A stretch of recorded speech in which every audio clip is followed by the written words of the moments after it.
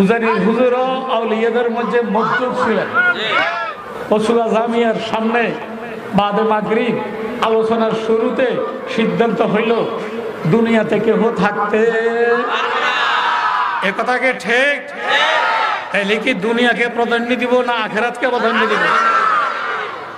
বাল আখেরাতু খাইরুন ওয়া আবকা। আখেরাত উত্তম এবং চিরস্থায়ী। আখেরাত উত্তম এবং চিরস্থায়ী।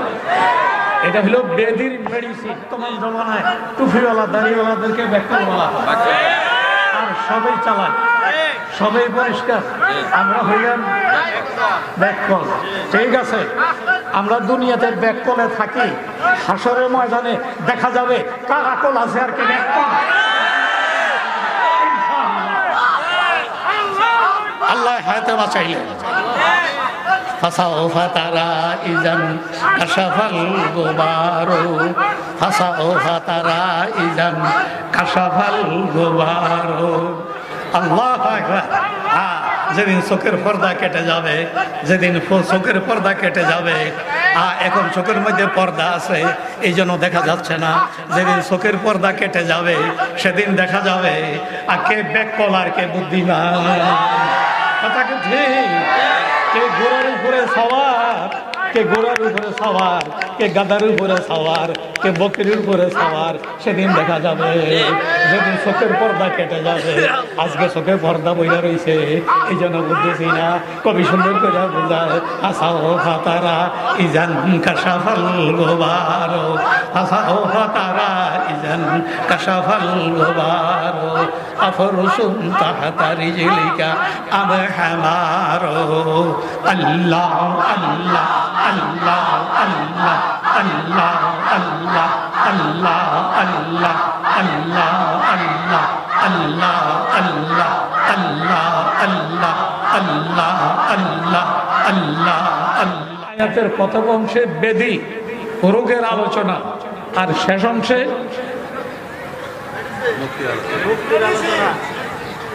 সুস্থের আলোচনা।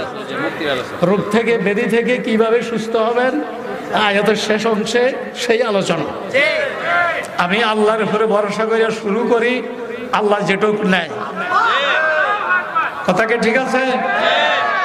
আমাদের বেদিটা হইল, রোগটা হইল, আমরা প্রত্যেক কাজে, আমার ভুল হইলে কিন্তু দেখবেন ওলামাইকার আমরা আছে এখানে। আমরা প্রত্যেক কাজে দুনিয়াকে প্রাধান্য দেই। এটা হইল আমাদের সবচেয়ে বড় বেদি। আমরা প্রত্যেক কাজে কাকে প্রাধান্য দেই? দুনিয়াকে। মাহফিল দেখে কথা বলেন। আমরা প্রত্যেক কাজে কাকে প্রাধান্য দেই? দুনিয়াকে প্রাধান্য দেই। কিন্তু আপনারা আমার সঙ্গে একটু আওয়াজ দিয়েন দুনিয়ার হায়াতটা স্থায়ী না অস্থায়ী?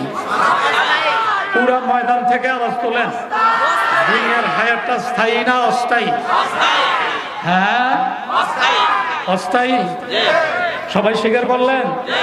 তাইলে সিদ্ধান্ত হইল পশুরা সামনে বাদে মাগরিব আলোচনার শুরুতে সিদ্ধান্ত হইল দুনিয়াতে কেহ থাকতে এ কথাকে ঠিক? তাইলে কি দুনিয়াকে প্রাধান্য দিব না আখেরাতকে প্রাধান্য দিব? বাল আখেরাতু খাইরুন ওয়া আবকা। আখেরাত উত্তম এবং চিরস্থায়ী। আখেরাত উত্তম এবং চিরস্থায়ী। এটা হলো বেদির মেডিসিন এখন এটা অন্তরে কেমনে আইব সে কথা একটু পরে যাই। আগে আয়তের পথর অংশ নিয়ে একটু আলোচনা করি। সম্রাট শারুর রশিদের যোগ। আপনাদের কষ্ট হয় নাকি? কথা বলব নাকি?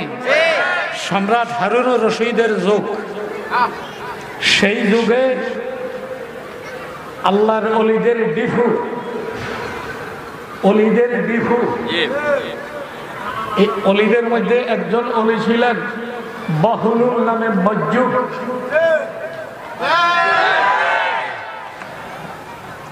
উজানির হুজুরও আউলিয়াদের মধ্যে মজ্জুব ছিলেন। আউলিয়াদের মধ্যে প্রকার ভেদ আছে। আউলিয়াদের মধ্যে প্রকার বেদ আছে। আজকে সময় নাই, আজকে বলতে পারব না। যোগটা হারুন রশিদের যোগ, মহলুল যদিও মজ্জুব, বাদশার সঙ্গে খুব গভীর সম্পর্ক। বাদশাহ অর্ডার রাখছে, সম্রাট হারুন রশিদ তার কর্মচারীকে অর্ডার দিয়ে রাখছে বহরুল যখনই আমার কাছে আসতে চাইবে চাইও তোমরা কোনো সময় তার বাধা টাধা দিও। না। তাইলে বহলুরের জন্য রাজ দরবার উন্মুক্ত। সবাই কথা না সবাই কথা শুধু রাজ দরবার উন্মুক্ত নয় এই জাতীয় প্রেমিকদের জন্য আল্লাহ পাকের জান্নাত উন্মুক্ত। কথা কি ঠিক কথা কি ঠিক কথা ঠিক সেদিকে আমি পরে যাই। আমি যে কথাটা বলতে শুরু করছি, আপনাদের অসুবিধা হয়? তাহলে আমার একটু আওয়াজ দিয়ে বুঝাইয়া দেন। আল্লাহ আল্লাহ আল্লাহ আল্লাহ আল্লাহ আল্লাহ আল্লাহ আল্লাহ।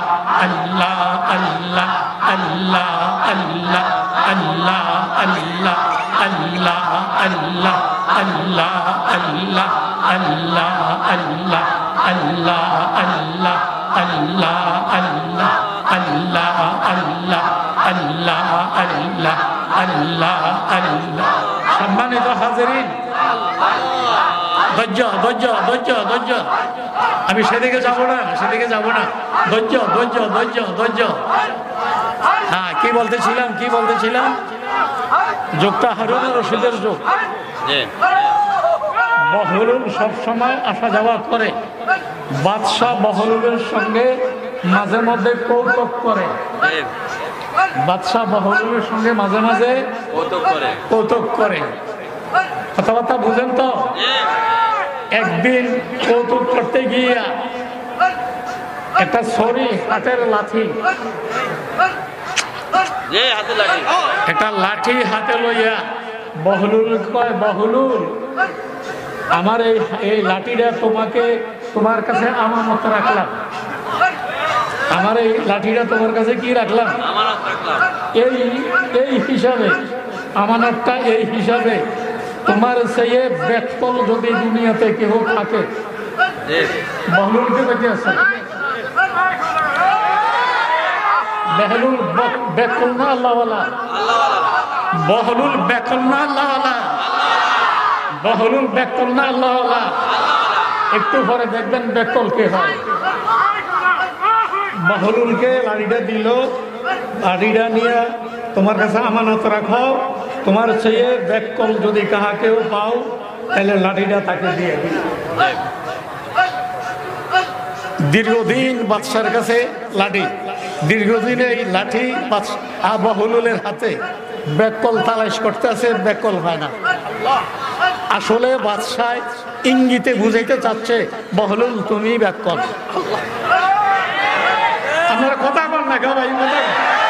বাদশাহ কথাটা সরাসরি না বইলা ইঙ্গিতে বুঝাইতে চাচ্ছে বহলুল তুমি এ জি যেমন বর্তমান জমানায় টুফিওয়ালা, দাড়িওয়ালাদেরকে ব্যাখ্যা বলা আর সবাই চালায় সবাই পরিষ্কার। আমরা হইলাম ব্যাককল ঠিক আছে, আমরা দুনিয়াতে ব্যাককলে থাকি। হাসরের ময়দানে দেখা যাবে কার আকল আছে আর কি ব্যাককল আল্লাহ হায়াতে বাঁচাইলেন فسوف ترى إذا كشف الغبار فسوف ترى إذا كشف الغبار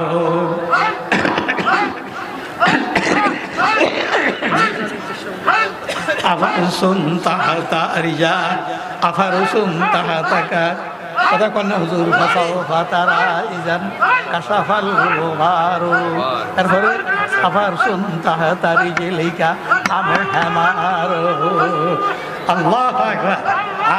যেদিন চোখের পর্দা কেটে যাবে, যেদিন চোখের পর্দা কেটে যাবে এখন চোখের মধ্যে পর্দা আছে, এই জন্য দেখা যাচ্ছে না।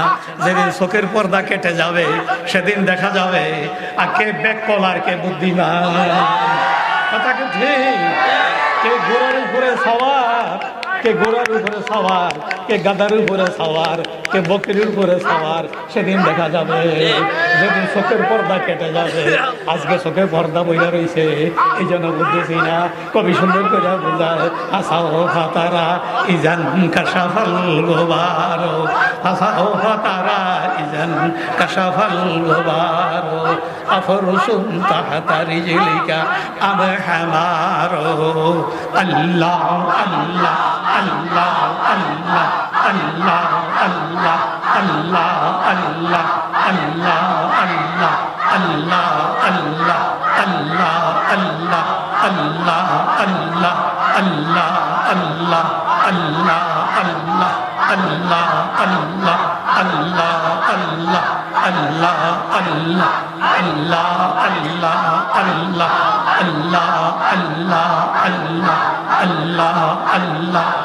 আল্লাহ আল্লাহ আল্লাহ। সম্মানিত হাজারিন সম্মানিত হাজারিন লাঠিটা নিয়ে তার কাছে রেখে দিছে। রাজ দরবারের সময় মতো আসা যাওয়া করে এই ব্যাপারে কোনো কথাবার্তা নাই। রাজাও জিজ্ঞেস করে না লাঠি সম্পর্কে তিনিও কিছু বলেন। তিনি ব্যাকল আছেন তালাশ আছে আপনারা আমার কথা বুঝেন না। বুঝি বুঝলে তো আওয়াজ দিতেন। কি তালাশ করতে আছে? কারণ রাজায় কইছে, তোমার সেই ব্যাকল যদি কারও করে পাও তাহলে লাঠিটা তার হাতে দিয়ে দিও। এই জন্য ব্যাকল ঢোকাইতে আছে। হইতে হইতে এক মাস, দুই মাস, এক বছর, তিন বছর যেতে যেতে হঠাৎ করে একদিন সম্রাট হারুন রশিদের অসুস্থতা দেখা দিল। সম্রাট হারুন রশিদের কি দেখা দিছে? তিনি অসুস্থ হয়ে গেলেন কঠিন অসুস্থ। সেই যুগটা চিকিৎসার এত উন্নতি ছিল না। সেই যুগে চিকিৎসা এত উন্নতি ছিল না? মানুষ লতা পাতা খাইয়া জি এপিনেও আছিল মানুষের বিশ্বাসও ভালো মানুষ ভালো হয়ে যাইত কথা কয় না কথা কয় না যাই হোক সম্রাট একেবারে শেষ পর্যায়ে যা যায় অবস্থা। এই সময় আমরা যে বলছেন মৌত নিশ্চিত। এই সুবাদে ঘটনাটা বলতেছি। আপনাদের থেকে কথা আমি উঠাইছি। আপনারা বলছেন মৌত কি? এই দেশে থাকা? জোরে জোরে জোরে। দুনিয়াতে থাকা? পরকালে যেতেই হবে। যেতেই হবে। এই সুবাদে ঘটনাটা বলতেছি। আমি কথা সংক্ষেপে বইলা সংক্ষেপে মাইক ছেড়ে দিচ্ছি। বহু ওলামায়কের আমরা আছে ধারাবাহিক সিলসিলাবারই তারা আলোচনা করতে থাকবে। আমি আমার কথা অল্প সময়ে শেষ করে দিচ্ছি। কি জানি বলতেছিলাম কি জানি বলতেছিলাম? বাদশাহ অসুস্থ হইতে হইতে একবারে যায় যায় দশা। এবার সম্রাট এবার হাতে লাঠিটা লইয়া ওই যে আমানতালা লাঠি লাঠিটা লইয়া বহুল আস্তে আস্তে রাজভরের দিকে যাচ্ছে। কথা বুঝন লাগবো বুঝন লাগবো আমার বলার যোগ্যতা নাই আপনাদের কাছে বুঝার যোগ্যতা আছে। হারুন রশিদ বহলুল আজকে রুগী হওয়ার জন্য রুগীকে আরুন সম্রাট হারুন রশিদ, রুগীকে। সম্রাট হারুন রশিদ, রুগীকে দেখার জন্য আরও কয়েকবারে আইসে গেছে। লাড়ি আরে নাই, আজকে কিন্তু লাড়ি লই আইতেছে না? লাঠি লই আইয়া রাজ দরবারে গিয়ে সোজা, কারণ তার জন্য তো কোনো আগ থেকেই তো বলা আছে। আগ থেকে বলা আছে না? সোজা সালাম দিয়া, যা হবানা কেমন আছেন? আর কি? আর কেমন থাকব? আপনি তো দেখতেছেন বোধহয় আমার সফরের সময় চলে আসছে। আরে কথা কয় না রে। মনে হয় আমার সফরের সময় চলে আসছে। কয় হুজুর কোন দেশে সফর করবেন? লাগেজন হাতে কিছু বুঝে না। মহলুল বান হয় যেন কিছুই এইভাবে বান বইরা কথাবার্তা বলতে আছে। যা হবে না কোন দেশে যাবে তুমি দেখ উল্টা পাল্টা কথা কও। মনে হয় আমার মৃত্যুর সময় গনে এসেছে। আচ্ছা ফিরবেন কবে?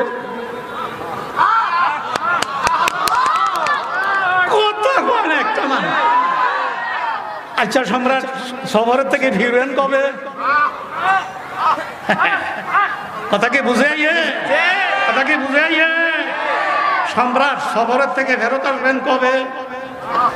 তুমি, আপনাকে তো আমি অনেক ভালো মানুষ মনে করছিলাম, নেককার মানুষ মনে করছিলাম। আপনার কথাবার্তা তো কোনো সাইজ নেই। পরকালের থেকে কেউ আর ফেরত আইছে। এমন ইতিহাস পৃথিবীতে আছে নাকি? বাদশায় কয়, সম্রাটে কয়।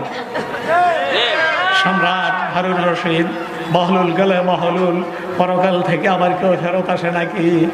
জাহাবানা মাফ করে দিবেন, তাইলে আমাকে একটু কথা বলতে হয়। বলেন, কয়, আমি আপনি সুস্থ থাকা অবস্থায় আপনার সম্রাটি অবস্থায়, রাজা রাজা রাষ্ট্র পরিচালনা অবস্থায় যেই কোনো দেশে ভ্রমণ করেছেন যে কোনো দেশে গেছেন, ওই দেশে যাওয়ার আগে বাহিনী পাঠাইছেন, রাস্তায় রাস্তায় তাবু টানাইছেন, যেন জিরাইতে পারেন। কত কত যেন জিরাইতে পারেন। আপনার শ্রমিকরা জায়গায় জায়গায় তাবু টানাইছে। আর যেই জায়গায় যাবেন, ওই জায়গায় আগে বাহিনী পাঠাইছেন।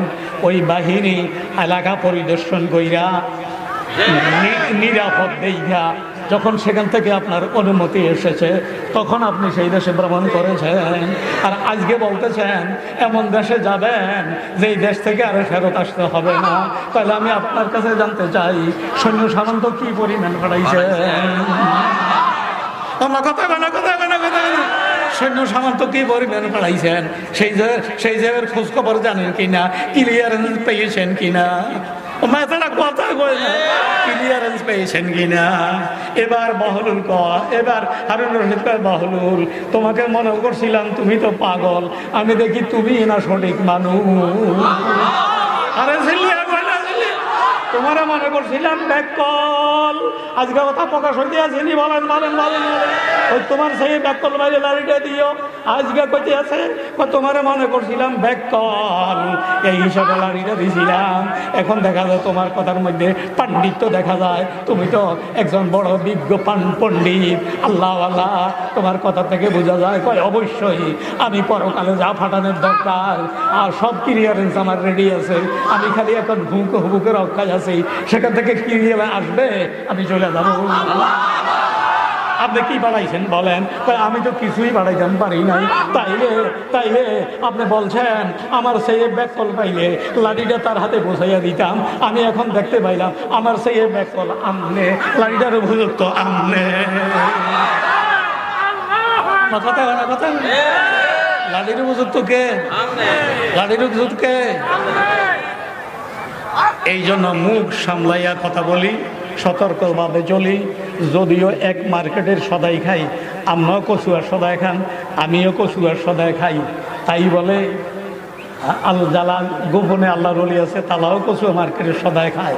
এক এক গ্রামে বাস করি হিসাবে আপনি আল্লাহর অলিকে সাধারণ মানুষ মনে করবেন না কারে মাকা রাখে আসাল সদ মগির কারে ভাকা রাখে আসাল সদ মগির কারে ভাকা রাখে আসাল সদ মগির গর্চ মানন্দার নামে শেতান শেরো শির শিরে আবাসাত কে মারদাম মি খোরাদ শিরে আবাসাত কে মারদাম মি খোরাদ শিরে আবাসাত কে মারদাম মি দারা আল্লাহ আল্লাহ আল্লাহ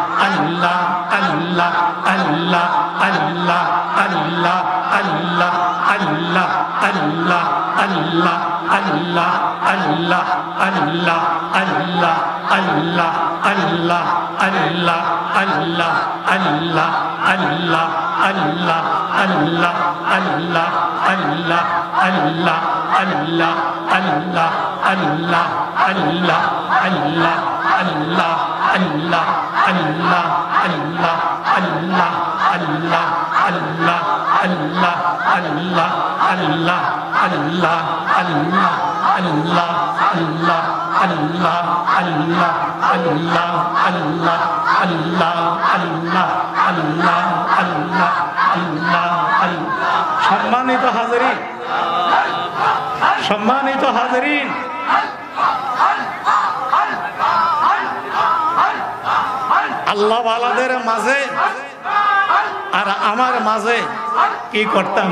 জিক্রে হক পা কোন দিকে করতাম? জিক্রে হক পাক পাকে রসিন জিক্রে হক পাক পাকে রসিন রতবত বন্ধু বরু আয়াদ হলিদ নিগির ইয়াজিদ হায়াদ জিদ হা। নিগির ইয়াজিদ হায়াদ জিদ হা। সব গিরিজা সুদর আফরু জাদে জিয়া। ডাইনে বাবা না তাকাইয়া আমার দিকে তাকান। ফ্যান্ডেলটা ফ্যান্ডেলটা আলোকিত হয়েছে। আজকের জামিয়ার সামনে, কচুয়া জামিয়ার সামনের ফ্যান্ডেল আলোকিত হয়েছে বাতির মাধ্যমে। তারা কথা বয় না। কিসের মাধ্যমে আলোকিত হয়েছে? আলোর মাধ্যমে আলোকিত হয়েছে। আলো নিবে দিবেন, অন্ধকার হয়ে যাবে। কথাকে ঢেক নিয়ে রে ভাই? ঢেক নিয়ে রে ভাই? ঢেক নিয়ে রে ভাই? হ্যাঁ আল্লাহ আকবার, আল্লাহ আল্লাহ میگی ریزت زی تو حالت زی تو میگی ریزت زی تو حالت زی تو سب گی ریزت سندر عبرو زد زی یا اللہ اللہ مست و مزنا میں خدا۔ اللہ اللہ اس میں ذات پاک دوست۔ اللہ اللہ اس میں ذات پاک دوست۔ اس میں عظم از ورائے قرب اس اس میں عظم از ورائے قرب اس اللہ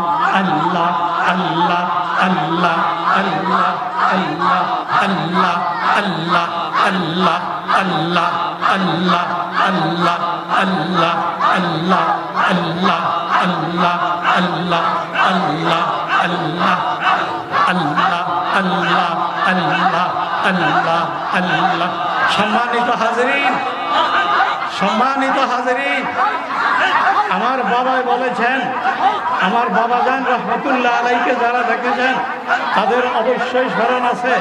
তিনি বলেছেন আর নামাজি বন্দা যখন জিকির শুরু করে, নামাজি বন্দা, কি বন্দা কি বন্দা কি বন্দা?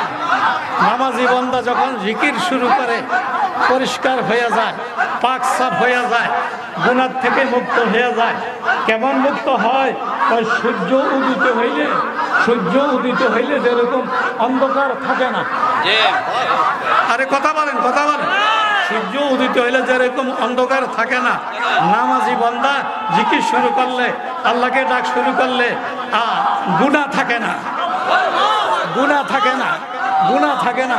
গুণা যেতে যেতে গুণা যেতে যেতে গুণা যেতে যেতে আমার বাবার কথা আর কি গুণা যেতে যেতে আমি নকল করতে আছি গুণা যেতে যেতে গুণা যেতে যেতে গুণা থাকে না গুণা যেতে যেতে আগুন তার সামনে নূর হয়ে যায় আগুন তার সামনে নূর হয়ে যায় আল্লাহ আল্লাহ আল্লাহ আল্লাহ আল্লাহ আল্লাহ আল্লাহ আল্লাহ আল্লাহ আল্লাহ আল্লাহ আল্লাহ আল্লাহ আল্লাহ আল্লাহ আল্লাহ আল্লাহ আল্লাহ আল্লাহ আল্লাহ আল্লাহ আল্লাহ আল্লাহ আল্লাহ আল্লাহ আল্লাহ আল্লাহ আল্লাহ আল্লাহ আল্লাহ আল্লাহ আল্লাহ আল্লাহ আল্লাহ ذكرك للمشتاق ذكرك للمشتاق خير شراب ذكرك للمشتاق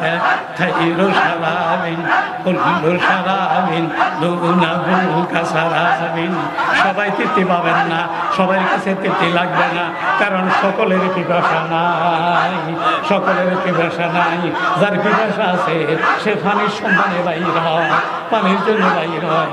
আমার গরিবের নামাজ পইরা সোজা মঞ্চে আসি নাই, গইরা মমতাবেন সাহেবের রুমে গিয়েছি। পানির পিপাসা ছিল একটু পানি পান করার জন্য গিয়েছিলাম। কথা কি বুঝাইছে আপনাদের, যার পিপাসা আছে, সে ডাক দিয়ে তৃপ্তি পাবে। একটা হইল পানির পিপাসা, আর একটা হইল ধর্মীয় পিপাসা, যা কিনিনের পিপাসা। কথা কয় না, পানির পিপাসা লাগবে, পানি পান করি।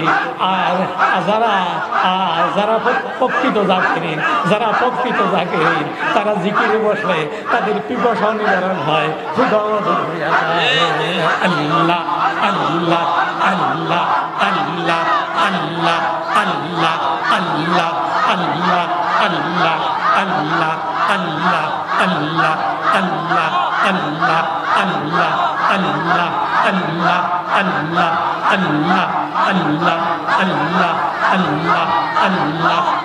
আল্লাহ আল্লাহ আল্লাহ আল্লাহ আল্লাহ আল্লাহ আল্লাহ আল্লাহ আল্লাহ আল্লাহ আল্লাহ আল্লাহ আল্লাহ আল্লাহ আল্লাহ আল্লাহ আল্লাহ আল্লাহ আল্লাহ ذكرك للمشتاق ذكرك للمشتاق ذكرك للمشتاق خير شراب যার পিপাসা আছে যার পিপাসা আছে খাইর সারাবিন পানি হইল উত্তম পানীয় আর যার পিপাসা নাই অকুল্ল সারা বিন্দু নাহু অকুল্ল সারা বিন্দু নাহু কাসারামিন আল্লাহ আল্লাহ আল্লাহ আল্লাহ আল্লাহ আল্লাহ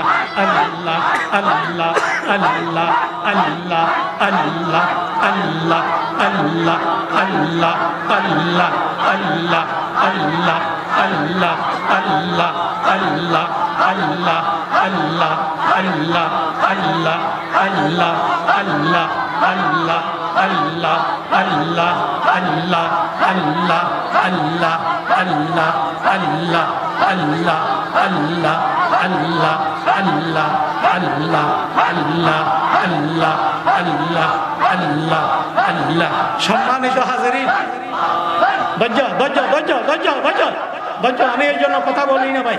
আমি কথা বললে সমস্যা দেখা দেয়। কারও সুবিধা, কারও অসুবিধা। এটা আমার বাবাই কইয়া গেছে। আমরা করসারা কথা কয় না কিল্লাই এলাকার মানুষের কথা বলেন না কেন? এটা আমার বাবাই কয়ে গেছে কারও সুবিধা কারও অসুবিধা। মনে আসেনি আপনাদের?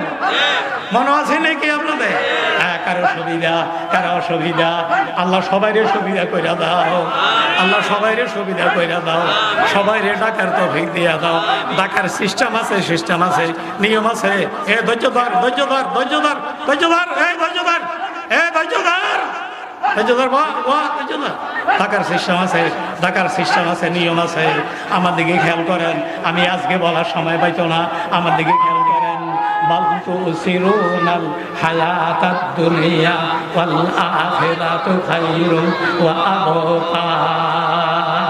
আমরা প্রত্যেক কাজে দুনিয়াকে প্রাধান্য দেই।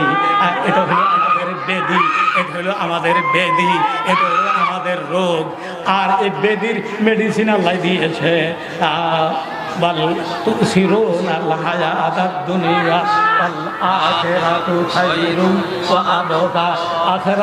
উত্তম এবং স্থায়ী। সুতরাং তুমি দুনিয়া প্রাধান্যতা না দিয়া, যেহেতু দুনিয়াতে থাকতে পারবা না, যেহেতু দুনিয়াতে থাকতে পারবা না।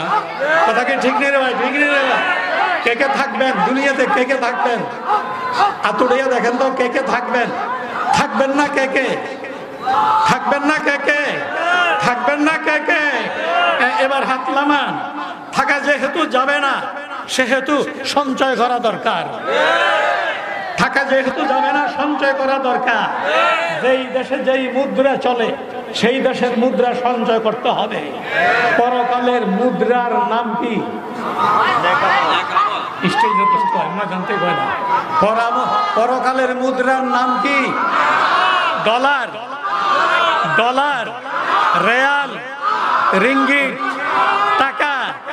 কি পরকালের মুদ্রার নাম কি? নেকামল তাইলে ওয়ারিশি সূত্রে আমি তো জান্নাত ওয়ারিশ সূত্রে পাওয়ার কথা। যদি বাবা সন্তান স্বীকার করে, তারা কথা কয় না। যদি বাবা সন্তান স্বীকার করে, তাহলে আমি ওয়ারিশি সূত্রে সম্পদের মালিক হইতে পারি। বাবাই কোথায় ছিল? আমার কথা কয় না। মালা নাই কয়। না কয়, আপনারা কয় না। বাবাই কোথায় ছিল? আম্মা কোথায় ছিল? সারা পৃথিবীতে আটশো কোটি মানুষ সবের পিতা মাতা একজন। কথা কথা কোথায় ছিল? বলেন বলেন বলেন বাবাই কোথায় ছিল?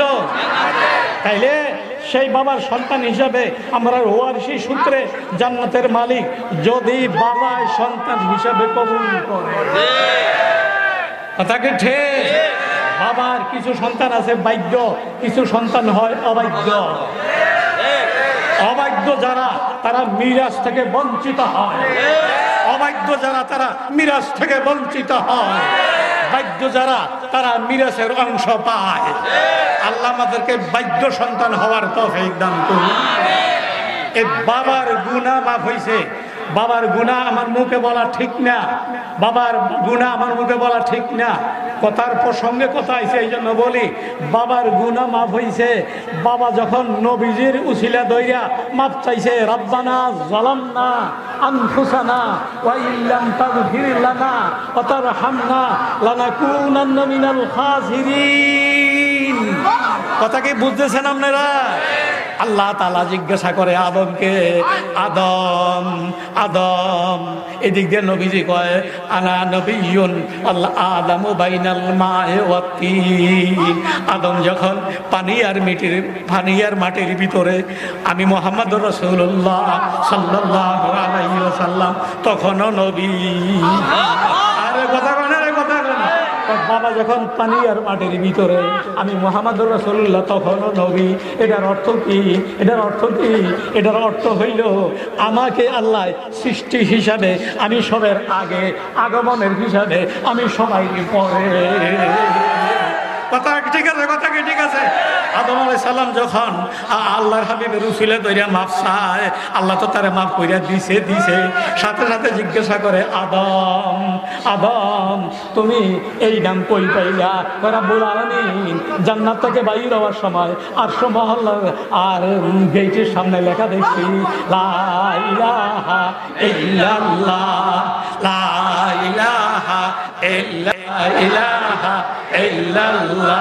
মুহাম্মাদুর রাসূলুল্লাহ। কথা কি ঠিক আছে? আপনার নামের সঙ্গে এই নামটা আমি দেখছি, মোহাম্মদুর রসুল্লাহ এতে আমি বুঝছি এই লোকটাই আপনার কাছে সবচাইতে বেশি প্রিয়। আপনার হ্যাঁ কথা কি ঠিক নেই? কথা কি ঠিক নেই? কথা কি ঠিক নেই? আপনার কাছে সবচাইতে বেশি প্রিয়। এই জন্য আমি বুঝতে পেরেছি আল্লাহ তালা আদমকে বলে, আদম, তোমারই সন্তান তোমারই সন্তান। কথা কেন তোমারই সন্তান।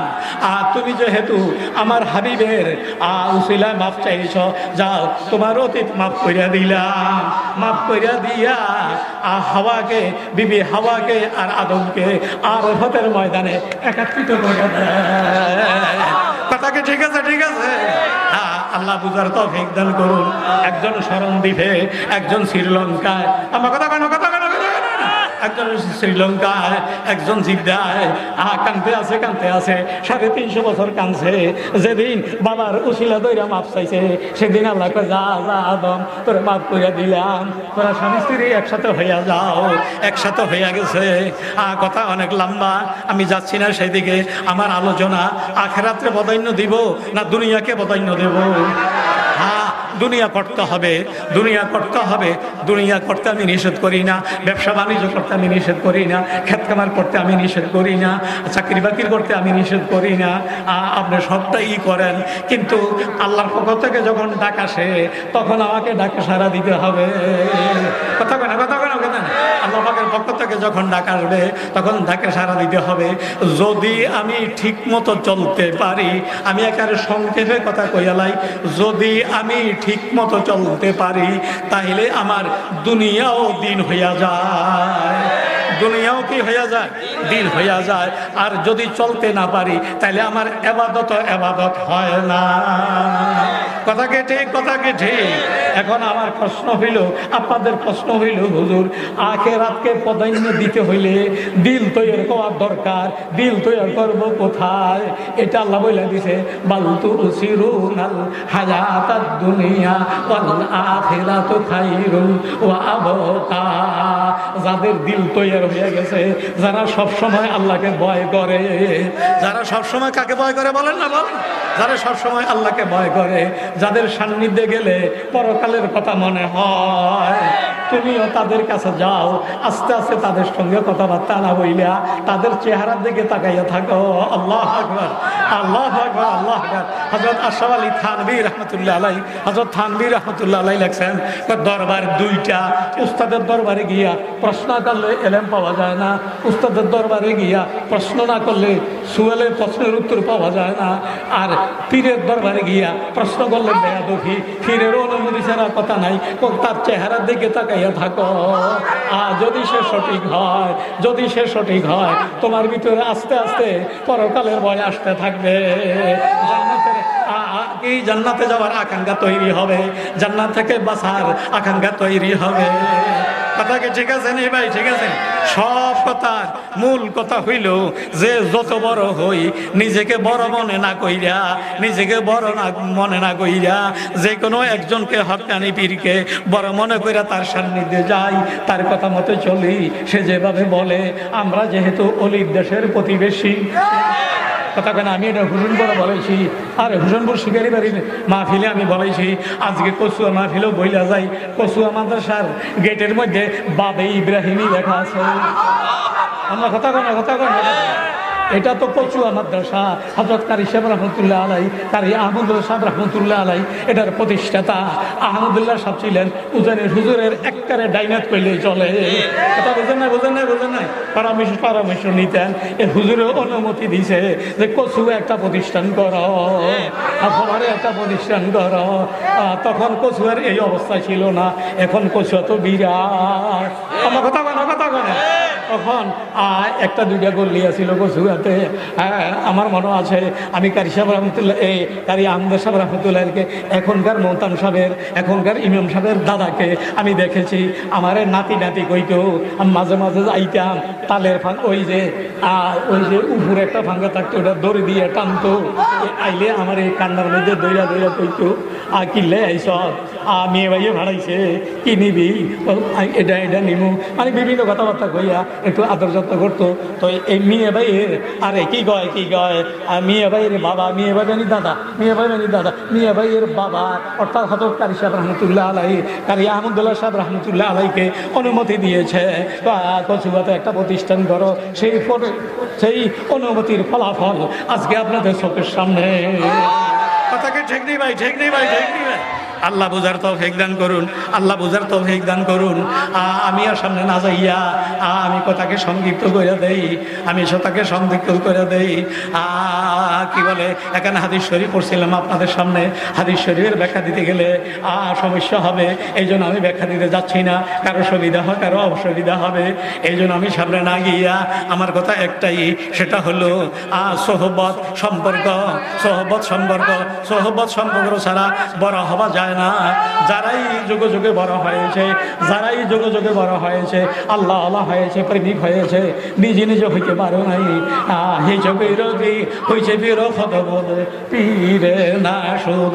হে ছবির খদব খদ পীরে না সুদ। হিজ আহে খদব খদ চিজে না সুদ। আপনি যদি আপনি যদি আপনার লোহাটাকে ঘরের ভিতরে থুইয়া রাখেন, এটা লোয়াই থাকবে, এটাকে কামারের দোয়ানি নিয়ে যদি বলেন, এ দাও বানাইয়া দাও বানাইয়া দিব, কাছি বানাইয়া দাও, কাছি বানাইয়া দাও, কুড়াল বানাইয়া দাও, বানাইয়া দিবে। সে জাতে লোহা, কিন্তু কখন কাছি হইয়া যায়, কখন দাও হইয়া যায়, কখন কুড়াল হইয়া যায়, কখন ঘণ্টা হইয়া যায়। আর আপনি যখন সেই অর্ডার দিবেন আল্লাহওয়ালাদের সামনে যাইবেন। আল্লাহওয়ালারা যদি আপনার সঙ্গে তাকায়, যদি আপনার দিকে তাকায় সোহানা কালা ইলমালানা ইল্লা মা আল্লামতানা ইন্দাকান্তাল আলিমুল হাকিম। ইউএমকে মিডিয়া সুস্থ সংস্কৃতির প্রত্যাশায় আপনাদের সেবায় নিয়োজিত। সৌজন্যে messrs Unani medicine corner, proprietor Mohammad Yakub Shekhdar Kachua থানা রোড কৌমি মাদ্রাসার ভবনের নিস্তলায় অবস্থিত কচুয়া পৌরসভা, কচুয়া চাঁদপুর। এখানে পুরুষ ও মহিলাদের যে কোনো রোগের এবং সুস্বাস্থ্যের জন্য স্থায়ীভাবে চিকিৎসা সেবা প্রদান করা হয়। Mobile number zero one eight one six double two nine eight two six. আল্লাহ হাফিজ।